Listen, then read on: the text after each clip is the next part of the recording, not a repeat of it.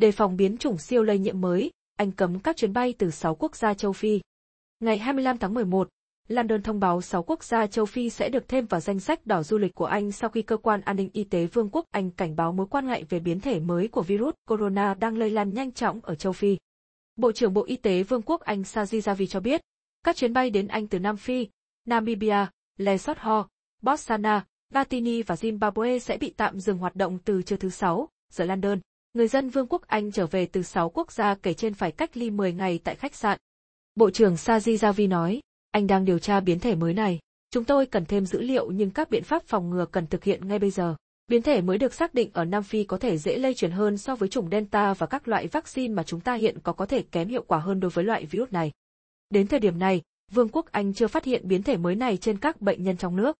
Ngày 26 tháng 11, các quan chức Nam Phi đã thông báo tóm tắt với Tổ chức Y tế Thế giới, WHO và WHO đã phân loại B11529 là một biến thể đang được theo dõi. Nam Phi đối mặt đợt bùng phát dịch thứ tư. Nam Phi, giống như hầu hết các nước trong khu vực, đã phải hứng chịu ba đợt COVID-19 kể từ khi đại dịch bắt đầu. Ngày 25 tháng 11, Bộ trưởng Y tế Nam Phi Joe Faala cho biết vẫn chưa rõ biến thể mới này, B11529, xuất hiện lần đầu ở đâu. Cho đến nay virus đã được ghi nhận ở Nam Phi, Botswana và Hồng Kông, Trung Quốc. Giáo sư Tulio de Oliveira, giám đốc Trung tâm đổi mới và ứng phó với dịch bệnh của Nam Phi, cho biết biến thể này có nhiều đột biến hơn và có thể sẽ lây lan rất nhanh. Ông khuyên người dân cố gắng tránh những sự kiện đông người để tránh lây nhiễm. Các quan chức Nam Phi cho biết cần tiến hành thêm nhiều nghiên cứu để hiểu được mức độ nghiêm trọng về mặt lâm sàng của biến thể mới này so với các biến thể trước đó.